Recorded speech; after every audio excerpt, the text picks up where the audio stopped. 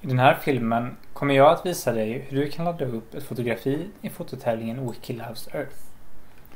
Gå till URL-fältet och skriv in wikilovesearth.se. Du kommer nu till startsidan för tävlingen. I den blåa rutan så finns information om hur du kan delta i tävlingen. Det finns två alternativ. Du kan antingen hitta ett objekt på listan eller hitta ett objekt på kartan. I den här filmen kommer jag använda mig av hitta ett objekt på listan.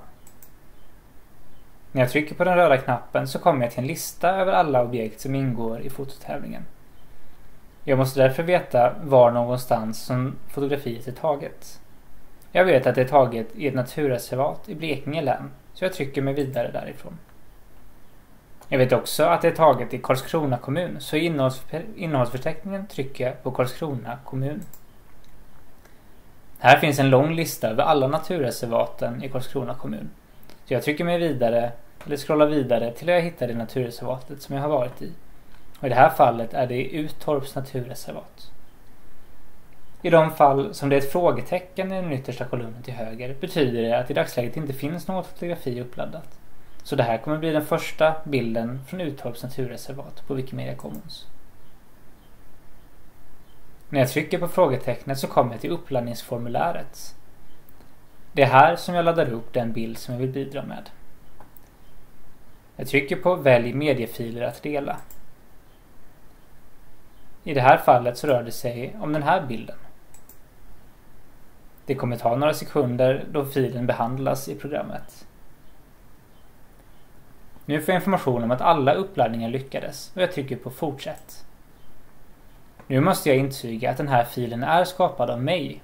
Att jag, Erik Lut, har skapat den här filen. I Wikilabs Earth får man bara delta med fotografier som är tagna av en själv. Jag trycker på nästa. Nu måste jag ge mer information om den här filen. Den har bara fått bildtitel efter vad den döptes till i min telefon. Det här föreställer blomman Trift och det var taget i Uttorps naturreservat. Så jag döper filen till Trift i Uttorps naturreservat. I fältet nedanför så ska jag ge lite information om den här filen. Jag kan välja att ge informationen på svenska.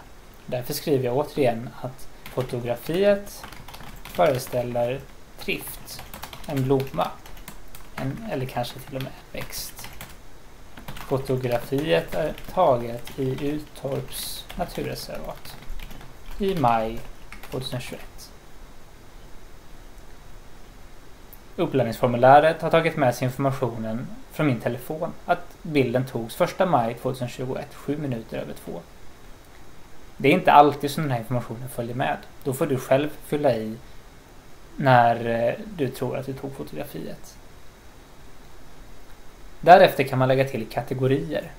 Redan ligger filen i kategorin Skyddade områden i Sverige eller Protected Areas of Sweden. I många fall kan man lägga till det specifika naturreservat som man har varit i. Till exempel Uttorps naturreservat. I det här fallet fanns dock inte den kategorin. Så om du vill hoppa över och skapa den kan du istället skriva Nature Reserves in Blekinge County.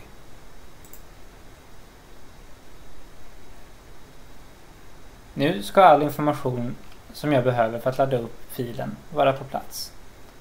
Jag kan då trycka på publicera filer. När jag trycker på publicera filer kommer, om allting har gått rätt till, bilden att vara uppladdad och med i Wikilabs Earth.